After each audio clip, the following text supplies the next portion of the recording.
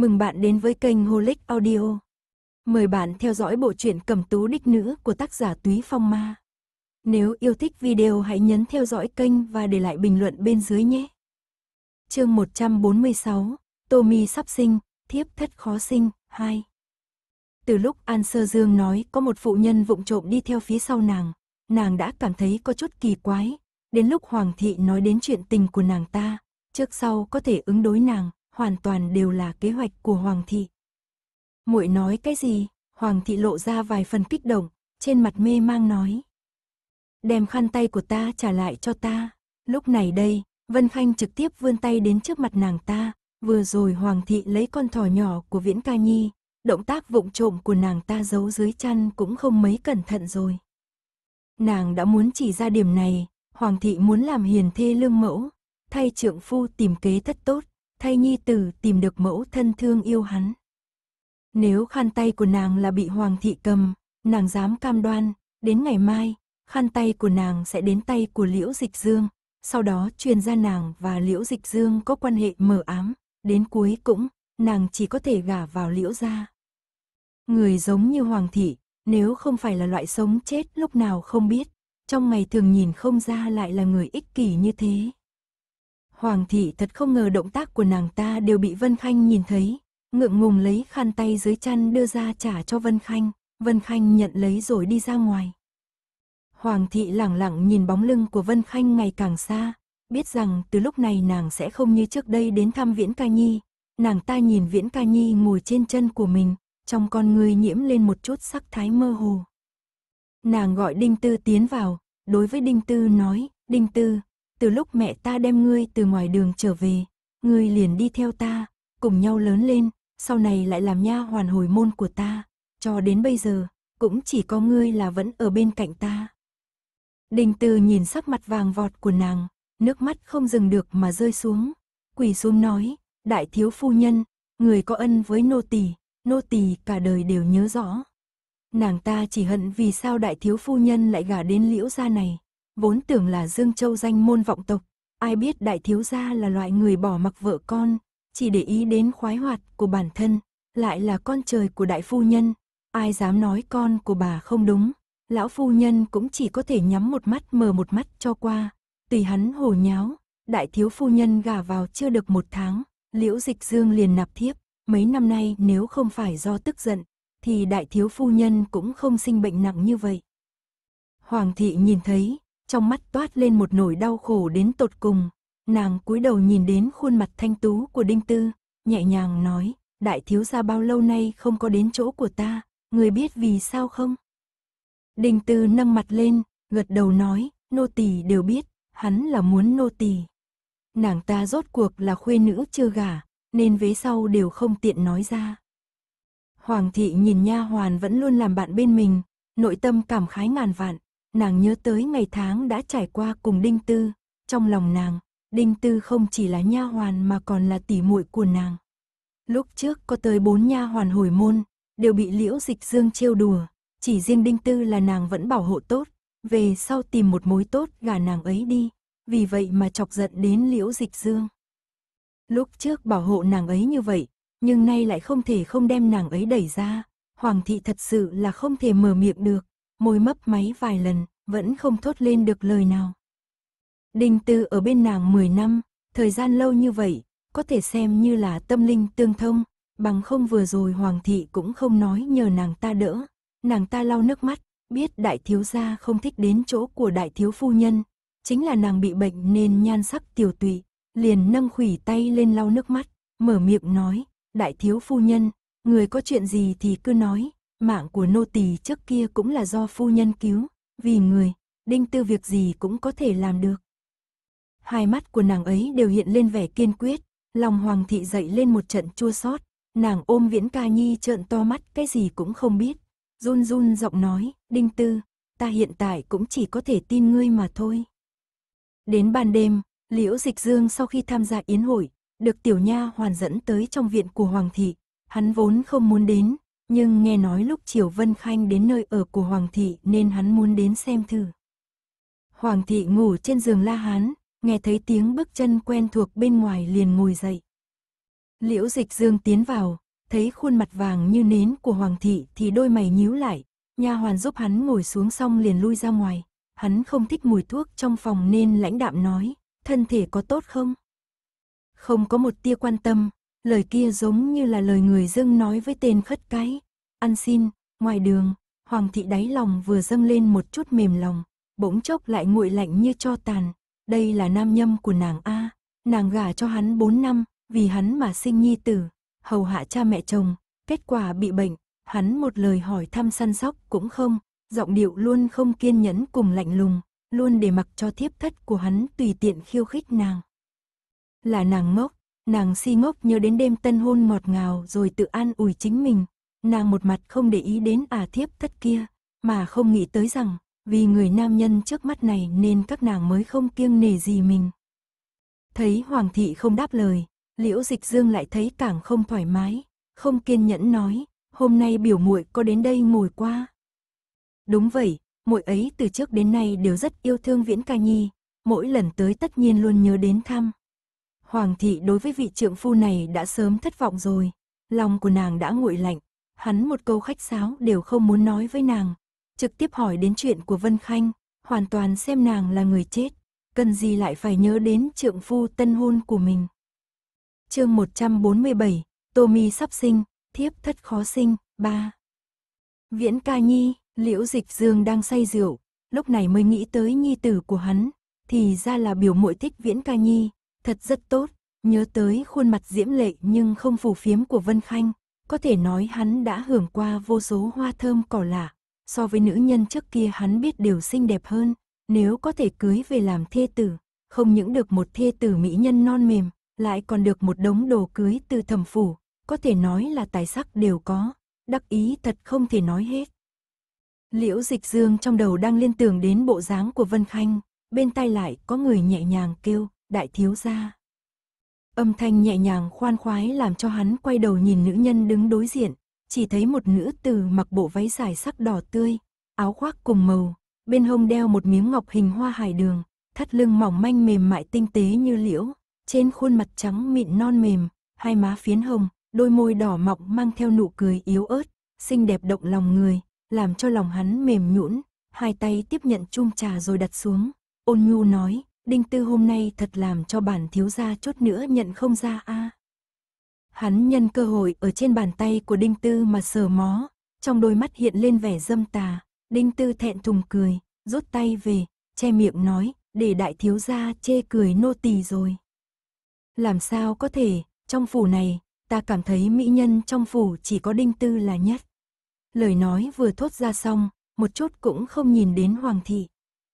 Thấy nàng lúc này không giống như trước phụng phịu giao huấn hắn, mà lại cười nói, chẳng uống rượu cũng say rồi, đi rửa mặt đi. Tiếp theo ngẩng đầu lên nói với Đinh Tư, người tới giúp đại thiếu gia đi.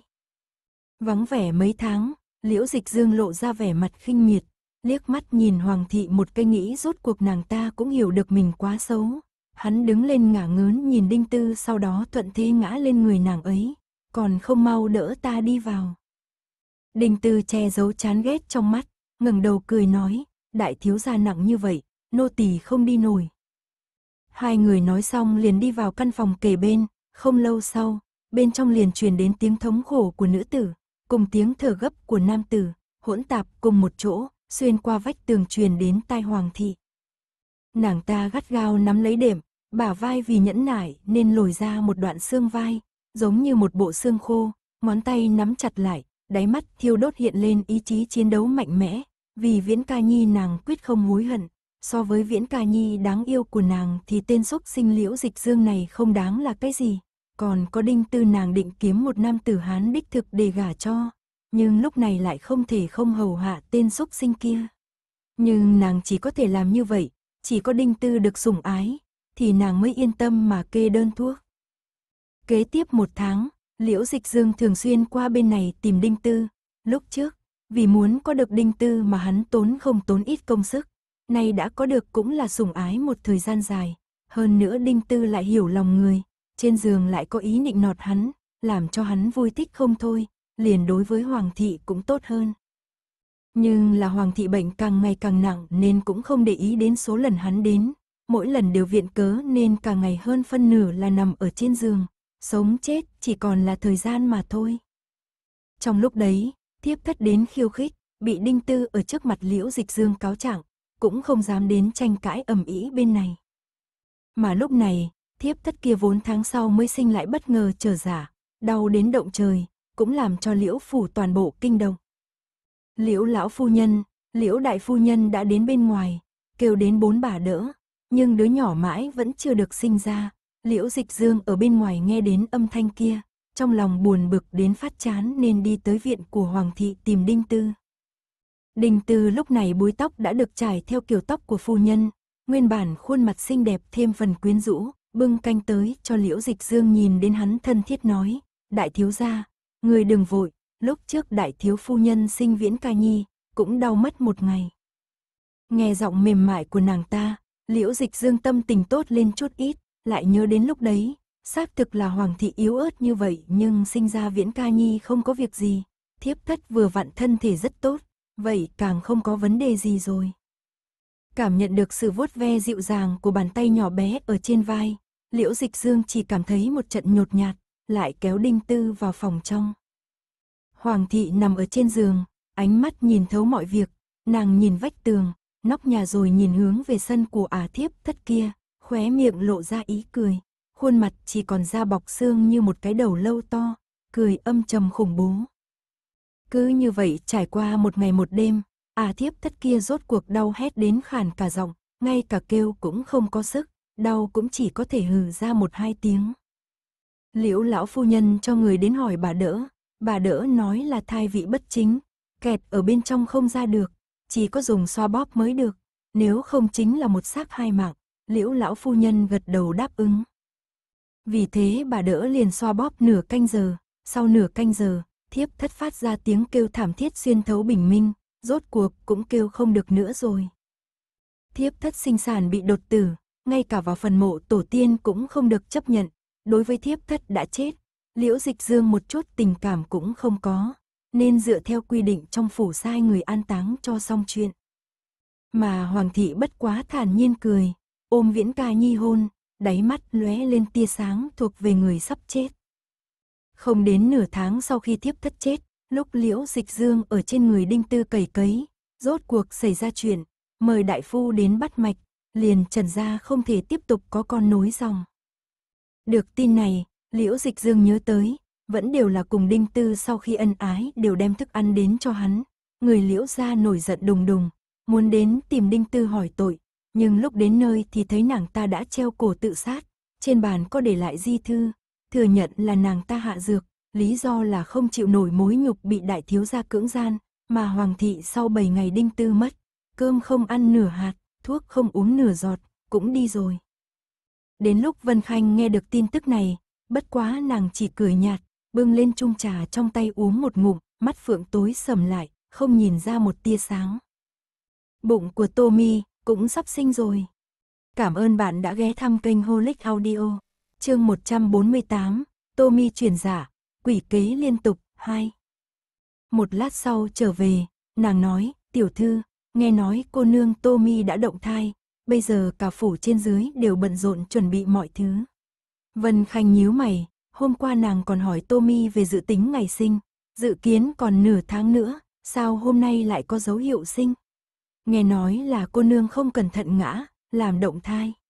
Lão phu nhân, lão gia, phu nhân, cùng các vị di nương đều đã kinh động, hiện tại đều đã tới. Lưu Thúy liền nói rõ những gì nàng vừa nghe được. Nghe thấy tạ thị cũng đã qua đó, Vân Khanh cảm thấy một cơn giật mình, gần đây trong phủ quá yên ắng, khiến nàng không khỏi thấy kỳ quái, như thể kẻ giấu mặt vẫn chưa chịu xuất hiện, thật sự khiến lòng nàng không yên. Vì thế, nàng bảo quản sự mụ mụ đi trước, còn mình thì thay y phục, dẫn theo Lưu Thúy và Thanh Nhi đến nhạn các, đi về hướng Lan Tâm Viện. Vừa bước vào cửa, nàng đã thấy trước cửa tụ tập đông người, lão phu nhân lo lắng hỏi, bà đỡ đâu, sao vẫn chưa mời được bà đỡ đến. Trần mụ mụ mặt mày đầy lo âu, tay nắm chặt, nói với lão phu nhân, bà đỡ đã tính toán dự sinh rồi, nhưng giờ cô nương ngã, thời gian sinh nở lại đến sớm. Vừa rồi tôi đã phân phó người đi mời, nhưng bà đỡ tốt nhất ở thành đông thì một người đi nhà thân thích, còn người kia đi giúp một nhà khác đỡ đẻ. Chỉ còn cách đi mời bà đỡ ở thành Bắc, Trầm Phủ nằm ở khu vực phồn hoa nhất thành Nam Dương Châu, từ đây đến thành Bắc nhanh nhất cũng mất một canh giờ cả đi lẫn về. Nếu bà đỡ không có ở nhà, còn phải tìm khắp nơi, chắc chắn sẽ mất thêm nhiều thời gian. Trầm Mậu đứng bên cạnh đỡ Tạ Thị, ánh mắt phức tạp nhìn vào bên trong. Tạ Thị từng nói với hắn rằng đứa trẻ trong bụng Tommy có lẽ là con của hắn, nhưng không hiểu sao hắn không thể cảm nhận được tình cảm nào với nó. Hắn cũng không có mong đợi gì đối với đứa trẻ này. Hôm nay, hắn đến đây chỉ vì nghĩ đến mặt mũi, nếu không thì người ta sẽ nói xấu. Tạ thị một tay đỡ trầm mẩu, nghe tiếng động từ bên trong, dù đã từng sinh con, nhưng nàng vẫn không khỏi hiện ra vẻ sợ hãi. Người ta thường nói, sinh nở là cửa ải quỷ môn của phụ nữ, nhiều người không thể vượt qua, rồi qua đời. Trước đây, khi sinh Vân Khanh, nàng cũng đã phải cố gắng rất nhiều mới vượt qua được. Giờ nhìn thấy Tommy như vậy, nàng lại cảm thấy có một chút đồng cảm, bàn tay đặt nhẹ lên bụng, nhẹ nhàng vuốt ve. Vân Khanh bước vào, chào hỏi mọi người, rồi nhìn thấy ba vị di nương đứng bên cạnh. Thu di nương bước lên trước, hành lễ và nói, đại tiểu thư, chào cô. Từ sau sự cố tiêu chảy kéo dài ba ngày trước đây, nàng ta đã trở nên cẩn trọng hơn rất nhiều. Thủy di nương và bạch di nương cũng bước lên cùng hành lễ với Vân Khanh. Lão phu nhân thấy Vân Khanh đến thì gật đầu nhẹ, sau đó quay đầu lại, tiếp tục chờ tin tức từ bên trong. Một lúc sau, từ bên trong truyền ra những tiếng thét chói tai. Trầm mậu nhìn tạ thị thấy sắc mặt nàng tái nhợt, liền nói, mẫu thân, ngài hãy nghỉ ngơi ở phòng bên, khi nào sinh xong, con sẽ báo cho ngài biết. Lão phu nhân quay đầu nhìn tạ thị, rồi lắc đầu và nói, người hãy đưa con dâu ra ngoài đi, đừng để nàng bị va chạm gì, ta sẽ ở đây theo dõi thêm. Các di nương này chưa từng sinh con, nếu có chuyện gì xảy ra, họ cũng không biết cách xử lý. Thấy lão phu nhân không có ý trách cứ, trầm mậu gật đầu, vậy thì xin làm phiền mẫu thân. Rồi hắn đỡ tạ thị ra ngoài. Sau gần nửa canh giờ, một bà tử vội vàng chạy đến, theo sau là hai bà đỡ. Bà ta tiến đến lão phu nhân và nói, nô tỳ đã mời được bà đỡ tới rồi. Lão phu nhân liếc nhìn hai bà đỡ, một người thì quen thuộc, còn người kia thì lạ mặt, được gọi là bà đỡ lệ, do bà tử mời tới. Bà gật đầu, ra hiệu cho hai bà đỡ nhanh chóng vào bên trong. Vụ ngã này có thể dẫn đến nguy hiểm lớn, đứa cháu của bà không thể gặp phải chuyện gì xấu được. Hai bà đỡ lập tức lấy đồ vật mang theo bên mình ra, nhờ tiểu nha hoàn bưng nước đến rửa tay, rồi tiến thẳng vào trong nội thất. Thấy lão phu nhân và Vân Khanh chưa có ý rời đi, Bích Vân phân phó tiểu nha hoàn chuyển hai chiếc ghế bành hoa hồng đến, và thêm ba chiếc ghế tròn khắc hoa điểu cho ba vị di nương ngồi chờ. Khi hai bà đỡ vào trong, tiếng rên rỉ bên trong có phần giảm đi, nhưng không lâu sau đó, tiếng la hét kịch liệt lại vang lên. Tiếng của Tommy vừa gấp gáp vừa thê lương, như thể bị cắt đứt giữa chừng rồi đột nhiên kết thúc. Lão phu nhân đang lo lắng chờ đợi bên ngoài cũng bị tiếng hét làm giật mình đứng dậy, hỏi, rốt cuộc là có chuyện gì xảy ra? Trần mụ mụ vội vàng chạy từ bên trong ra, lông mày nhíu lại vì lo lắng, nói, lão phu nhân, bà đỡ nói cuống rốn phía trước của cô nương đã dụng, thai nhi hiện tại chỉ sống nhờ vào cuống rốn phía sau. Nếu không sinh ra kịp thời, đứa trẻ có thể bị ngạt trong bụng. Cái gì, vậy sao không mau mời đại phu? Lão phu nhân trợn tròn mắt, sắc mặt đầy kinh hãi. Tô Mi vẫn khỏe mạnh, sao hôm nay lại gặp phải chuyện này? Khi cô nương vừa ngã, nô tỳ đã cho người đi mời đại phu, nhưng hôm nay ông ấy đã ra ngoài thành để khám bệnh tại nhà rồi. Trần mụ mụ mặt mày căng thẳng, nói, lão phu nhân ơi, bà đỡ nói cần phải nhanh chóng mời đại phu kê thuốc dưỡng thai. Nếu không kịp, cô nương sẽ không được cứu. Thủy Di Nương đứng bên nghe vậy, khuôn mặt đầy lo lắng, đứng dậy nói, lão phu nhân, nếu giờ mới đi mời đại phu, cả đi lẫn về cũng mất nửa canh giờ. Không biết liệu đứa trẻ trong bụng cô nương có thể giữ được không, nghe có vẻ nghiêm trọng lắm. Giá mà trong phủ chúng ta có người hiểu y thuật thì tốt biết mấy. Thủy Di Nương thở dài nặng nề, nhưng điều đó lại khiến Trần Mụ Mụ nghĩ đến một người. Bà quay sang Vân Khanh và nói, đại tiểu thư, nô tỳ nghe nói y thuật của ngài trong học viện rất giỏi, phu tử cũng khen ngợi ngài học nhanh. Ngài có thể vào giúp xem tình hình của cô nương được không? Xem có cách nào cứu được nàng không? liêu Thúy tỏ vẻ không vui, nói, đại tiểu thư mới chỉ học y thuật được một năm, làm sao biết về chuyện sinh nở. Hơn nữa, nàng là một khuê nữ chưa lấy chồng, làm sao có thể vào phòng sinh. Nếu chuyện này truyền ra ngoài, danh dự của đại tiểu thư sẽ ra sao? Lão phu nhân cũng do dự, dù cháu trai rất quan trọng, nhưng tôn nữ cũng không kém phần quan trọng.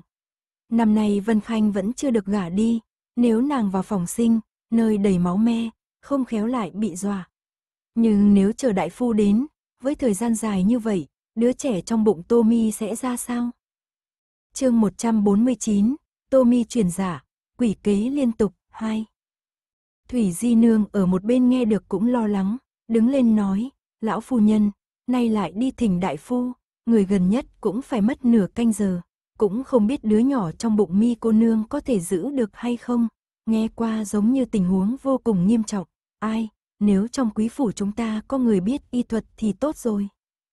Thủy Di Nương thật mạnh thở dài một hơi, nhưng lại làm cho Trần mẹ nghĩ tới một người, bà xoay người, hướng tới Vân Khanh nói, đại tiểu thư, nô tỳ nghe nói y thuật của người đứng đầu trong học viện, phu tử cũng khen người có khả năng tiếp thu tốt, người có thể hay không đi vào hỗ trợ nhìn xem mi cô nương a, nhìn xem có biện pháp nào có thể cứu nàng ấy hay không.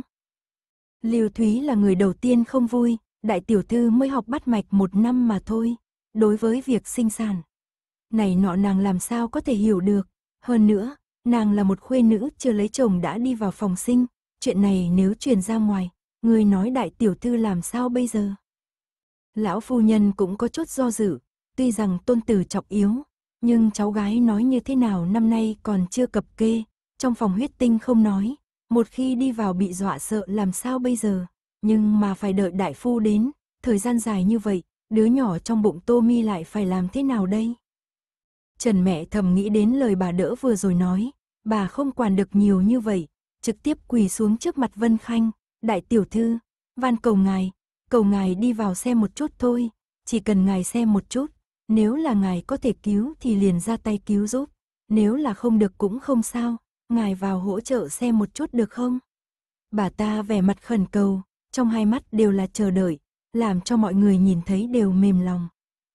Thủy Di Nương cầm khăn chấm chấm khóe mắt, trên khuôn mặt xinh đẹp đều là đồng tình hướng nội phòng nhìn thoáng qua, nức nở nói, đại tiểu thư, người liền vào xem một chút a tuy rằng mi cô nương trước kia không đúng đắc tội người, nhưng là nay nàng ấy sống chết trước mắt, chúng ta cũng không cần so đo chuyện quá khứ, người nên vào xem đi, đây chính là hai mạng người a. Bị nàng ta vừa nói như vậy, Vân Khanh nếu không đi vào, chính là bởi vì Tô Mi trước kia đắc tội nàng, cho nên nàng ghi hận trong lòng, thấy chết mà không cứu. Nếu là hôm nay Tommy không có việc gì thì thôi, nếu là có chuyện, nàng tin tưởng lập tức sẽ có người nói thẩm ra tiểu thư thẩm vân khanh tâm địa ác độc, nhìn thấy một lớn một nhỏ chết ở trước mặt nàng, cũng không vươn tay ra cứu giúp. Nàng mâu quang không khỏi xẹt qua một tia hoài nghi, Thủy Di Nương khi nào thì biến thành người tốt rồi, còn gấp gáp tìm người cứu mạng Tommy nữa chứ nàng cũng không quên lúc trước là vì ai nàng ta mới vào từ đường, là ai đi từ đường tìm nàng ta phiền toái. Chẳng lẽ ở trong từ đường ngây ngốc 4 tháng liền thật sự có thể khiến con người ta thay đổi tính cách, trở nên ôn nhu rộng lượng như thế sao? Ngay sau đó Bạch Di Nương cũng ôn nhu mở miệng đại tiểu thư, tuy nói là đi vào không mấy thích hợp, nhưng lúc này mạng người quan trọng, nếu người lòng dạ từ bi, xin vào xem mi cô nương đi, nói như thế nào, trong bụng nàng ấy cũng là con nối dòng của thẩm gia. Hai di nương đều mở miệng, thu di nương nhưng lại không có lên tiếng, sắc mặt nàng ta mang theo lo lắng, Thủy Trung không mở miệng, bởi vì nàng biết, vị đại tiểu thư này khẳng định không giống như nàng ta nghĩ đơn giản như vậy, lời người khác không ảnh hưởng đến hành động của nàng ấy được. Vân Khanh tinh tế ở trên mặt Thủy Di Nương nhìn một vòng, không bỏ sót ánh mắt của nàng ta khi nhìn phía trong phòng, đáy mắt che giấu không được tia ghen tị, còn cả việc nàng ta luôn nắm thật chặt khăn tay, đều cho thấy việc nàng ta tức tối cùng không cam lòng. Một ý tưởng hình thành trong đầu nàng, nàng nhìn nhìn mặt Thủy Di Nương, liền bày ra dáng vẻ lo lắng đối với lão phu nhân nói, tổ mẫu, Tô Mi cùng đứa bé trong bụng nàng tình huống không tốt, xin tổ mẫu đi trước mời đại phu đến đây, cháu gái vào nhìn xem tình huống như thế nào, có được không? Lão phu nhân kỳ thật đã sớm muốn mở miệng, lúc này Vân Khanh tự mình đề nghị, bà liền vội vàng gật đầu, hảo, hảo, cháu mau vào xem đi. Nghe được những lời này, Trần mẹ lập tức đứng lên, mang theo Vân Khanh đi vào trong. Vào trong phòng, lập tức ngửi thấy một cỗ mùi máu tươi tanh tưởi, theo hướng nội thất đi vào, mùi máu tươi kia càng ngày càng đậm, còn trộn lẫn mùi vị khác, mặc dù đã là cuối thu không khí mát mẻ, nhưng lúc này trong phòng lại có vẻ thập phần oi bức khó chịu. Các mama lần lượt ra vào thay đổi chậu nước, chăn gấm đỏ thẫm phủ lại che khuất nửa người dưới của Tommy, hai bà đỡ đang ở bên trong xem xét tình huống. Hít vào, ôn bà đỡ lớn tiếng hô, lệ bà đỡ chui ra liền nhìn thấy Vân Khanh đang đi tới, trong mắt lộ ra một tia kinh ngạc, rất nhanh liền thu liễm lại. Tommy hai tay gắt gao siết chặt đệm giường, khuôn mặt đầy mồ hôi tầm ướt cả sàng đan dưới thân cùng quần áo trên người nàng ta, sợi tóc màu đen bết lại dính trên mặt, sắc mặt trắng bệch, vừa nhìn qua cảm thấy vô cùng khó chịu. Trần mẹ vội vàng đi đến cạnh nàng, nhỏ giọng nói, cô nương, là nô tỳ đây. Tommy đang đau đớn bỗng bên tai nghe thấy tiếng Trần mẹ, hô lớn, đau quá a, mẹ, đau quá, ta không cần sinh đứa nhỏ nữa. Trần mẹ nghe được lời của nàng, nước mắt đều chảy ra, cô nương, cô nương ngốc của nô tỳ, lúc này không được nói lung tung, đến, để cho đại phu bắt mạch nhìn xem. Nói xong vặn buông tay nàng ta ra, đặt ở trước mặt Vân Khanh. Lần đầu tiên Vân Khanh nhìn đến tượng trong phòng sinh, loại tình cảnh trộn lẫn mùi vị giữa sống và chết làm cho nàng cảm thấy vô cùng khó chịu. Hai hàng lông mày nhíu chặt, sắc mặt không tốt quét mắt nhìn lướt qua tình huống trong này. Mùi vị nồng đậm làm cho nàng có cảm giác buồn nôn, lúc này, nàng mới cảm thấy, làm đại phu kỳ thật là một chuyện không dễ dàng chút nào. Nàng nhìn Trần Mama đang ngóng đôi mắt chờ đợi về phía nàng, lại nhìn Tommy nửa mờ nửa khép hờ mí mắt, đi tới đem hai ngón tay áp lên mạch đập của nàng ta, một lát sau, lại hỏi bà đỡ mấy vấn đề, thần sắc nghiêm trang suy nghĩ một hồi, nói, vấn đề này hẳn là không lớn, ta kê cho nàng ta một đơn thuốc trợ sản thử xem. Trần mẹ nhìn khuôn mặt Vân Khanh, chỉ cảm thấy trên người cô gái phát ra khí chất thong dong ổn định, làm cho người ta không tự chủ được tin tưởng lời nàng nói.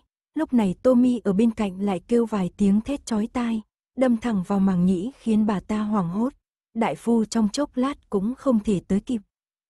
Lệ bà đỡ thấy bà ta còn đang ngẩn người, mở miệng thúc giục nói, các ngươi nhanh chút, tình huống của sản phụ không tốt lắm, đừng lề mề chậm trễ kẻo sau này hối hận không kịp. Trần mẹ trong lòng cả kinh, nhìn Tommy hô hấp yếu dần, dằn lòng nói, đại tiểu thư, phương thuốc của người sẽ có tác dụng chứ? Không nói trăm phần trăm, tóm lại có thể làm cho nàng ấy mau chóng sinh đứa nhỏ ra. Đi theo Vân Lão Thái gia học tập hơn nửa năm, từ khi biết tạ thị mang thai, Vân Khanh liền lao vào nghiên cứu những vấn đề liên quan đến việc an thai, trợ sản và sinh sản. Đối với tình huống của Tommy nàng vẫn có chút tin tưởng vào khả năng của mình. Trần mẹ xem nàng hai mắt sáng ngời, không giống có ý xấu, nghĩ nàng nếu như muốn động tay động chân, cũng sẽ không ở trước mặt nhiều người như vậy tiến vào hỗ trợ, lại nói phòng trong đứng nhiều người như vậy, nàng cũng không có cơ hội xuống tay, liền gật đầu nói, vậy thì làm phiền đại tiểu thư đem phương thuốc viết ra, nô tỳ lập tức sai người đi nấu thuốc. Vân Khanh gật gật đầu, bên cạnh đứng một cái ma ma vội vàng đem giấy mực lại đây, Vân Khanh đi đến bên chiếc bàn nhỏ, nhìn thoáng qua ma ma kia. Đại tiểu thư, người mau mau viết đơn thuốc, già nô hào đi lấy thuốc cấp mi cô nương. Bà ta đứng ở một bên sốt ruột thúc giục. chương 150, Tô mi truyền giả, quỷ kế liên tục, ba. Vân Khanh đánh giá bà ta một phen, gặp không có gì dị thường, liền cầm cây bút lông sói trên bàn, thấm đầy mực, từ một bên lấy ra một chồng giấy mỏng màu vàng, ở trên mặt viết xuống phương thuốc. Viết xong rồi, ngươi dựa theo đơn thuốc này mà đi hốt thuốc đi. Vân Khanh cầm tờ giấy thổi thổi, sau đó đưa cho Mama. Mama thật cẩn thận tiếp nhận tờ giấy kia, nhìn chữ viết phía trên, đáy mắt lướt qua tia sáng, lão nô đi ngay, lập tức đi ngay. Vân Khanh thản nhiên cười, đem trang giấy thả lại chỗ cũ, xoay người nói với Trần mẹ, ngươi đi lấy phiến sâm cho nàng ngậm giữ sức, đợi lát nữa thuốc tới thì dùng. Trần mẹ liên tục gật đầu, ngồi ở đầu giường, cầm tay Tommy, cùng bà đỡ cổ vũ nàng cố gắng kiên trì. Mà mà cầm phương thuốc liền đi ra ngoài, Vân Khanh cũng theo phía sau bước ra, lão phu nhân lập tức đứng lên hỏi, có biện pháp không? Bẩm lão phu nhân, đại tiểu thư thông tuệ, sau khi bắt mạch liền viết đơn thuốc đưa cho lão nô, bảo lão nô lập tức đi hốt thuốc về nấu. Mà mà kia tay cầm đơn thuốc, bộ dáng vô cùng kinh hỉ. Lão phu nhân nghe nói có đơn thuốc, sắc mặt hơi chút thả lỏng, Thủy Di Nương đi lên phía trước cầm lấy đơn thuốc nhìn thoáng qua, xem một lần rồi nói, quả thật có chút giống phương thuốc an thai a, đại tiểu thư đúng thực thông tuệ. Hào, Thảo, người chạy nhanh đi lấy thuốc, càng nhanh càng tốt. Lão phu nhân nghe đơn thuốc kia có vẻ đáng tin, ngón tay nắm tay liền thả lỏng, sai mama lập tức đi lấy thuốc. Mama chạy ra sân lấy thuốc, lại đem vào cho Bích Vân, Bích Vân vội vàng vào phòng bếp nhỏ bên cạnh, cầm cai chày tự mình dã thuốc, qua hai nén hương, thuốc đã nấu xong, nàng bưng đi vào đưa cho Trần mẹ. Trần mẹ thổi nguội thuốc, vươn tay nâng tô mi dậy, một mình tay chân lóng ngóng, thiếu chút nữa làm đổ chén thuốc. Lệ bà đỡ vội vàng tiến lên nhận lấy chén thuốc, kêu, người cũng thật bất cẩn, thuốc này mà làm đổ, lát nữa làm sao còn thời gian đi sắc chén khác, mau, đốt cho nàng ấy uống hết. Trần mẹ liên tục xưng vâng, giúp đỡ Tommy uống thuốc, sau khi uống xong, chân mày Tommy quả nhiên giãn ra một chút, Bích Vân tiếp nhận bát, khuôn mặt căng thẳng rốt cục cũng thả lỏng, vội vàng đi ra ngoài báo tin cho lão phu nhân. Vừa rồi mi cô nương uống thuốc, sắc mặt đã tốt lên không ít rồi à? Vậy là tốt rồi, lão phu nhân nhìn thoáng qua Vân Khanh, nghĩ đứa cháu gái này thích đọc sách, cũng là có chút tác dụng, xem ra về sau nàng lại ở nhà đọc sách gì, bà cũng không cần lại huyên thuyên cằn nhằn rồi. Nào ngờ còn chưa nói hết câu, bên trong lại truyền đến tiếng la thê lương, thanh âm của Tommy càng lúc càng lớn, càng ngày càng sợ hãi, ngay sau đó bên trong truyền đến từng trận tiếng khóc náo loạn, có tiểu nha hoàn chạy ra, bất chấp lão phu nhân ở trong này, mà bắt đầu nôn mửa. Làm sao vậy? Lão phu nhân lớn tiếng quát, khuôn mặt xanh mét, đem nha hoàn bà tử đang rối loạn chấn định lại. Trong đó một ma ma lớn tuổi ngẩng đầu lên, nhìn lão phu nhân nói, mi cô nương. Dòng huyết rồi. Từng mảng từng mảng máu lớn từ dưới thân tô mi chảy ra, thân thể của nàng bắt đầu run rẩy kịch liệt, ngón tay gắt gao cầm chặt tay Trần mẹ, trợn to cặp mắt xinh đẹp, gắt gao nhìn chằm chằm hoa văn trên màn trướng, mẹ. Mẹ, đây rốt cuộc là có chuyện gì? Lúc đầu không phải đang rất tốt sao? Như thế nào hiện tại lại rong huyết? Trần mẹ nắm bàn tay lạnh lẽo của Tommy, vội vã hô lớn. Chúng ta cũng không biết a, mới vừa rồi còn tốt, nhưng vừa uống xong chén thuốc kia, màu càng chảy càng nhiều, chỉ sợ là. Bà đỡ đã thấy nhiều tình huống như vậy, mắt thấy Tommy chảy máu đã muốn thâm ướt cả giường, bắt đầu dọc theo chân giường thấm ra, không khỏi nhíu mày lùi về sau hai bước, chỉ sợ là không thể cứu được. Sản phụ ra máu nhiều như vậy, cơ hồ là tất cả máu trong cơ thể đều chảy khô, như thế nào còn có đường sống a? Đứa bé kia đâu, đứa nhỏ đâu? Trần mẹ hỏi. Hai bà đỡ lắc đầu nói, vừa rồi đưa tay vào sờ soạng, đứa nhỏ cũng không có tim độc. Không có khả năng a, vừa rồi rõ ràng uống là thuốc trợ sản, không đến mức như vậy. Trần mẹ toàn thân phát run, nhìn Tommy sắc mặt dần dần biến thành màu xám, môi liều mạng run run, mẹ, mẹ, ta không cần sinh. Đây là đại tiểu thư bà chăm sóc từ nhỏ đến lớn, vì trốn tránh hôn sự mẹ cả an bài gà cho mốc tử, cố ý tìm cơ hội thông đồng với thẩm mậu, nhưng lại gả đến địa phương tranh đấu ám toán sau lưng này a. Tommy năm nay mới 18 tuổi, 18 tuổi. Trần mẹ nhìn nàng dần dần mất đi hô hấp, sắc mặt càng ngày càng trắng bệch, ánh mắt rơi vào kia chén thuốc, thuốc, chính là chén thuốc này. Ban đầu tiểu thư căn bản sẽ không rong huyết, chính là từ sau khi uống xong chén thuốc kia. Đại tiểu thư, đại tiểu thư, đều là tại ả à đại tiểu thư kia. Bà buông ra thân mình Tommy, chạy ào vọt ra bên ngoài, nhìn những người đang khẩn trương chờ đợi bên ngoài, vẻ mặt bi thương vọt tới trước mặt lão phu nhân, khuôn mặt nhuộm đầy nước mắt nói, lão phu nhân, mi cô nương đã chết, một xác hai mạng a. Lão phu nhân từ lúc nghe đến chuyện rong huyết, đã cảm thấy kích động không thể chịu được, lúc này nghe Trần mẹ vừa nói xong, lùi về phía sau từng bước, nếu không phải Vương Mama tiến lên đỡ bà, chỉ sợ bà sẽ ngã xuống trước mặt mọi người. Vương Mama đỡ bà ngồi xuống chiếc ghế trong sảnh, bà cố gắng chấn định lại, nhìn thấy hai bà đỡ theo phía sau đi ra, cau mày nói, các ngươi nói, sao lại thế này? Một trong hai bà đỡ đứng ra nói, lúc đầu thai phụ quả thật cuống rốn bị bóc ra, Nam Hải chỉ có thể dựa vào cuống rốn sông sót, chỉ cần nhanh chóng đem thai nhi lấy ra, mẫu tử cũng sẽ không có vấn đề gì, sau lại không biết như thế nào, thai phụ đột nhiên bắt đầu rong huyết, mà thai nhi có lẽ là bởi vì rong huyết khiến cho thiếu không khí, cũng chết ở trong bụng. Lão phu nhân mỗi câu đều nghe rất rõ ràng, nhưng mà trong đó có một câu khiến cho bà vô cùng kinh hãi, lắp bắp nói, người nói là cái nam hài.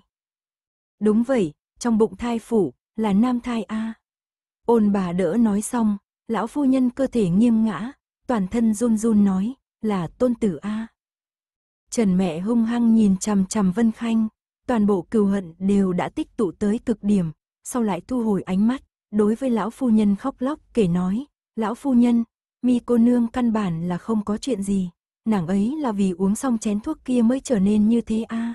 Trước đó cuông rốn bóc ra cũng không dẫn tới song huyết, vậy trong đó nhất định có nghi vấn, thỉnh lão phu nhân làm rõ. Người nói bậy, đại tiểu thư trước mặt nhiều người như vậy kê đơn thuốc, làm sao có thể có vấn đề. liều Thúy ngay từ đầu đã không nhịn được, đứng dậy, Vân Khanh là loại người nào, nàng còn không biết rõ sao, tuyệt đối sẽ không cố ý kê đơn đi hại người. Ta nói bậy cái gì, nếu không phải do uống chén thuốc kia, mi cô nương sẽ đột nhiên mất mạng sao?